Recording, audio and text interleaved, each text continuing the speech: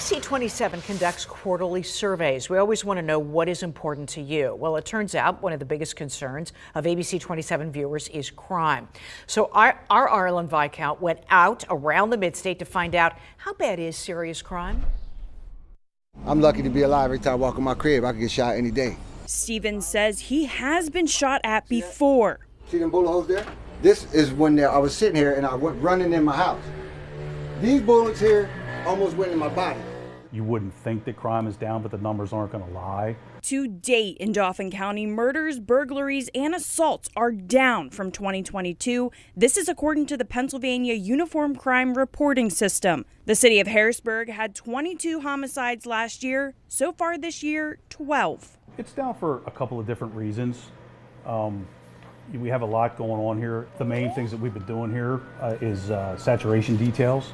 We had several officers out. They're doing um, details uh, out on the street trying to get guns and curb some of the violence that's been taking place. In York County today, murders, burglaries, and assaults also down from last year. So, what if I told you actually statistically that crime is down? Would you believe it? No, that's crazy. Crime ain't down around here. York City police say they have several key initiatives to address the problem. We identify specific members of the community uh, who are involved in gun violence, and we reach out to those individuals and we let them know, hey, we know what you're doing. You know, we know that you're out here, you know, carrying guns, shooting.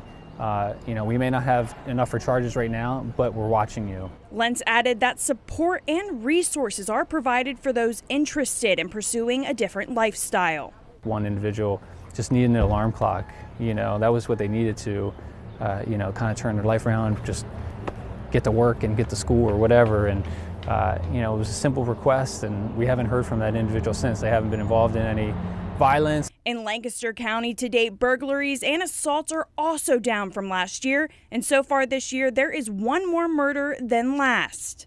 It's great to hear. I don't see a lot of crime around much. The Lancaster City Police Bureau takes pride in their ability to investigate all types of crimes, distinguishing themselves from other areas. Our criminal investigative division, we have a property crimes unit, a violent crime unit, and a special investigations unit, uh, which we tend to all crimes. As crime is down across the midstate, the question remains why do people commit crimes? Whelan says love, money, and drugs but also my biggest opinion on how this kind of stuff happens and it's it may not be the most popular thing out there in the world but it's violent entertainment and uh, lack of parenting parental failure it's just the games call of duty grow up the parents ain't disciplining the kids now Every officer I spoke with emphasized their ongoing effort to develop new initiatives aimed at reducing crime. However, they stressed the importance of community collaboration to achieve these goals. Ireland Viscount, ABC 27 News.